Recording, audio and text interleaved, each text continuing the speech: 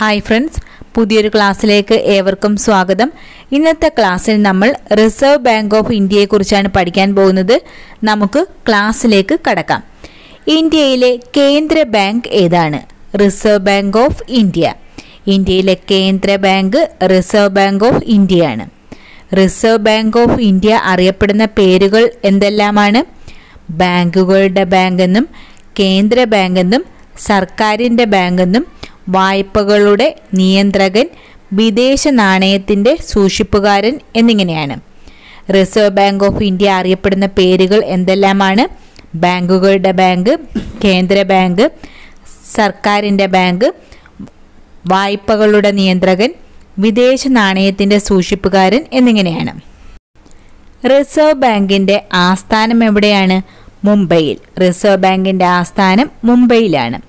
Reserve bank പ്രവർത്തനം ആരംഭിച്ചതെന്നാണ് ആയിരത്തി തൊള്ളായിരത്തി മുപ്പത്തിയഞ്ച് ഏപ്രിൽ ഒന്നിന്.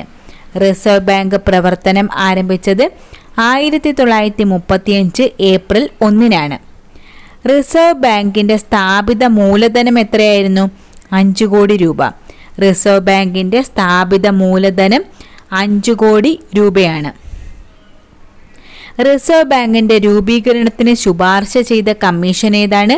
ഹിൽട്ടൺ യങ് കമ്മീഷൻ റിസർവ് ബാങ്കിന്റെ രൂപീകരണത്തിന് ശുപാർശ ചെയ്ത കമ്മീഷൻ ഹിൽട്ടൺ യങ് കമ്മീഷനാണ് ഏത് നിയമപ്രകാരമാണ് reserve bank of India രൂപീകൃതമായത്?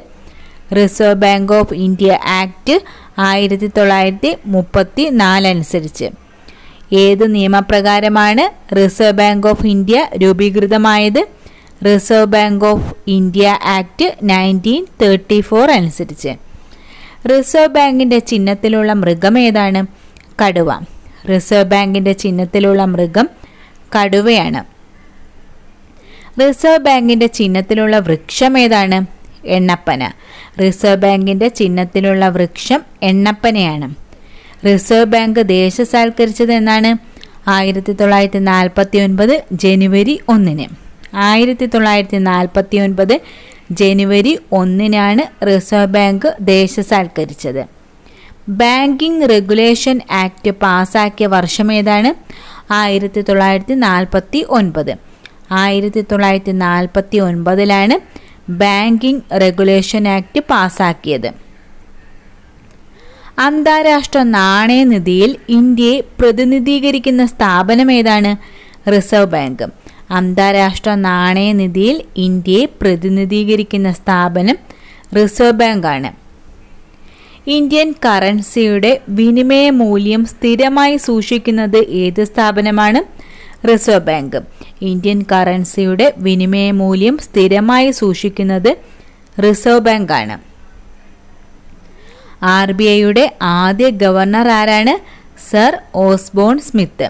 R B ഐയുടെ ആദ്യ ഗവർണർ സർ ഓസ്ബോൺ സ്മിത്ത് ആണ് ആർ ബി ഐയുടെ ഇന്ത്യക്കാരനായ ആദ്യ ഗവർണർ ആരാണ്?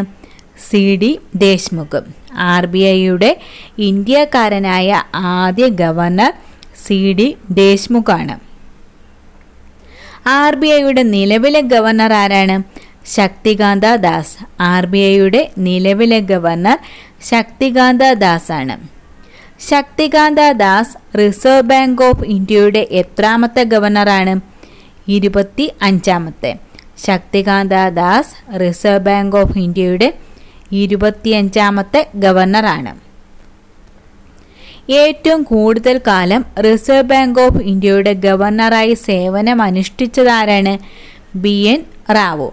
ഏറ്റവും കൂടുതൽ കാലം റിസർവ് ബാങ്ക് ഓഫ് ഇന്ത്യയുടെ ഗവർണറായി സേവനമനുഷ്ഠിച്ചത് ബി എൻ റാവു ആണ് റിസർവ് ബാങ്ക് ഓഫ് ഇന്ത്യയുടെ ഗവർണറായ ശേഷം ഇന്ത്യൻ പ്രധാനമന്ത്രിയായ വ്യക്തി ആരാണ്? Manmohan Singh. Reserve bank of ഇന്ത്യയുടെ ഗവർണറായ ശേഷം ഇന്ത്യൻ പ്രധാനമന്ത്രിയായ വ്യക്തി മൻമോഹൻ സിംഗ് ആണ്. ആർ ബി ഐയുടെ ഡെപ്യൂട്ടി ഗവർണറായ ആദ്യ വനിത ആരാണ്? K J Udeshi R B ഐയുടെ ഡെപ്യൂട്ടി ഗവർണറായ ആദ്യ വനിത കെ ജെ ഉദ്ദേശിയാണ്. ആർ ബി ഐയുടെ പ്രഥമ ചീഫ് ഫിനാൻഷ്യൽ ഓഫീസർ ആരാണ്? സുധാ ബാലകൃഷ്ണൻ. ആർ ബി ഐയുടെ പ്രഥമ ചീഫ് ഫിനാൻഷ്യൽ ഓഫീസർ സുധാ ബാലകൃഷ്ണനാണ്. ആർ ബി ഐയുടെ ഇരുപത്തിനാലാമത്തെ ഗവർണർ ആരാണ്? ഊർജിത് പട്ടേൽ. ആർ ബി ഐയുടെ ഇരുപത്തിനാലാമത്തെ ഗവർണർ ഊർജിത് പട്ടേലാണ്. ആർ ബി ഐയുടെ ഇരുപത്തി മൂന്നാമത്തെ ഗവർണർ ആരാണ്? രഘുറാം രാജൻ. ആർ ബി ഐയുടെ ഇരുപത്തി മൂന്നാമത്തെ ഗവർണർ രഘുറാം രാജനാണ്. ഇന്ത്യയിലെ ബാങ്കുകളുടെ സേവനങ്ങളെ സംബന്ധിക്കുന്ന പരാതികൾക്ക് പരിഹാരം കാണുന്നതിനായി ആയിരത്തി തൊള്ളായിരത്തി തൊണ്ണൂറ്റിയഞ്ചിൽ നിലവിൽ വന്ന സംവിധാനം ഏതാണ്? Banking ombudsman. ഇന്ത്യയിലെ ബാങ്കുകളുടെ സേവനങ്ങളെ സംബന്ധിക്കുന്ന പരാതികൾക്ക് പരിഹാരം കാണുന്നതിനായി ആയിരത്തി തൊള്ളായിരത്തി തൊണ്ണൂറ്റിയഞ്ചിൽ നിലവിൽ വന്ന സംവിധാനമാണ് ബാങ്കിംഗ് ഓംബുഡ്സ്മാൻ. ആർ ബി ഐയുടെ ബോധവൽക്കരണ പ്രചരണ പരിപാടികളുടെ ബ്രാൻഡ് അംബാസിഡർ ആരാണ്? അമിതാഭ് ബച്ചൻ. ആർ ബി ഐയുടെ ബോധവൽക്കരണ പ്രചരണ പരിപാടികളുടെ ബ്രാൻഡ് അംബാസിഡർ അമിതാഭ് ബച്ചനാണ്. ഇന്ത്യയിലെ ഡിജിറ്റൽ വൽക്കരണം വിലയിരുത്തുന്നതിനായി ആർ ബി ഐ തയ്യാറാക്കുന്ന സൂചിക ഏതാണ്? Digital payment index. ഇന്ത്യയിൽ ഡിജിറ്റൽ വൽക്കരണം വിലയിരുത്തുന്നതിനായി ആർ ബി ഐ തയ്യാറാക്കുന്ന സൂചികയാണ് digital payment index. Reserve bank of ഇന്ത്യയുടെ സാമ്പത്തിക വർഷം കണക്കാക്കുന്നത് എന്ന് മുതൽ എന്നുവരെയാണ്. ജൂലൈ ഒന്ന് മുതൽ ജൂൺ മുപ്പത് വരെ. റിസർവ് ബാങ്ക് ഓഫ് ഇന്ത്യ സാമ്പത്തിക വർഷം കണക്കാക്കുന്നത് ജൂലൈ ഒന്ന് മുതൽ ജൂൺ മുപ്പത് വരെയാണ്. കേരളത്തിൽ റിസർവ് ബാങ്കിന്റെ ആസ്ഥാനം എവിടെയാണ്?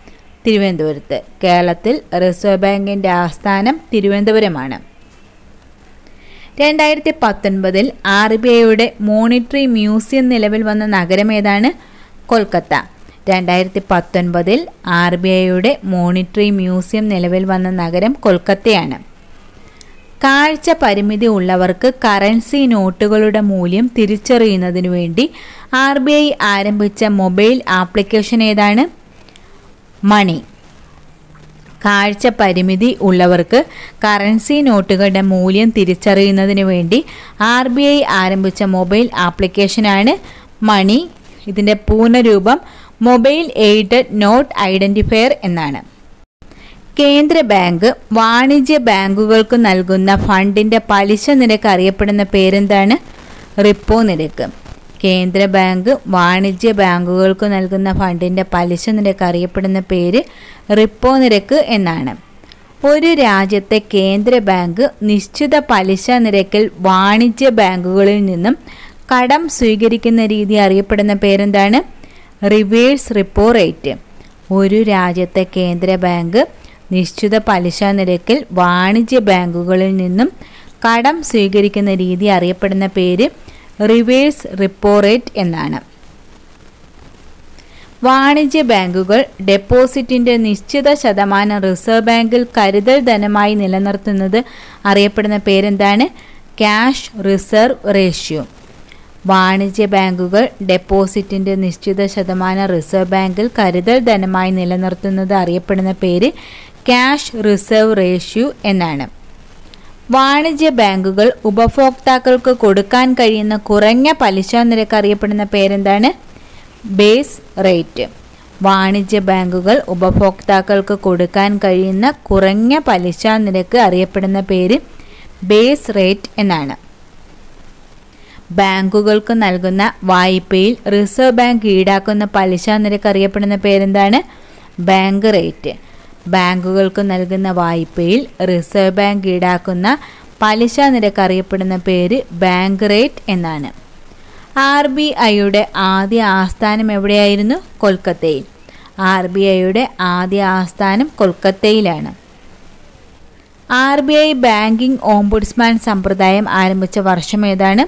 ആയിരത്തി തൊള്ളായിരത്തി തൊണ്ണൂറ്റി അഞ്ചിൽ R B I banking ombudsman സമ്പ്രദായം ആരംഭിച്ച വർഷം ആയിരത്തി തൊള്ളായിരത്തി തൊണ്ണൂറ്റി അഞ്ചിലാണ് ഒരു രൂപ നോട്ടൊഴികെ മറ്റ് കറൻസി നോട്ടുകളിൽ ഒപ്പിടുന്നതാരാണ്? Reserve bank of India governor ഒരു രൂപ നോട്ടൊഴികെ മറ്റ് കറൻസി നോട്ടുകളിൽ ഒപ്പിടുന്നത് റിസർവ് ബാങ്ക് ഓഫ് ഇന്ത്യ ഗവർണറാണ് റിസർവ് ബാങ്ക് ഓഫ് ഇന്ത്യയെ ഇന്ത്യയുടെ കേന്ദ്ര ബാങ്കായി ഔദ്യോഗികമായി പ്രഖ്യാപിച്ചതെന്നാണ് ആയിരത്തി തൊള്ളായിരത്തി നാൽപ്പത്തി ഒൻപതിൽ റിസർവ് ബാങ്ക് ഓഫ് ഇന്ത്യയെ ഇന്ത്യയുടെ കേന്ദ്ര ബാങ്കായി ഔദ്യോഗികമായി പ്രഖ്യാപിച്ചത് ആയിരത്തി തൊള്ളായിരത്തി നാൽപ്പത്തി ഒൻപതിലാണ് ഇന്ത്യയിൽ കറൻസി നോട്ടുകൾ അച്ചടിച്ച് വിതരണം ചെയ്യാൻ അധികാരമുള്ള ബാങ്ക് ഏതാണ്? റിസർവ് ബാങ്ക് ഓഫ് ഇന്ത്യ ഇന്ത്യയിൽ കറൻസി നോട്ടുകൾ അച്ചടിച്ച് വിതരണം ചെയ്യാൻ അധികാരമുള്ള ബാങ്ക് റിസർവ് ബാങ്ക് ഓഫ് ഇന്ത്യയാണ് ഇന്നത്തെ ക്ലാസ് ഇവിടെ അവസാനിച്ചിരിക്കുകയാണ്.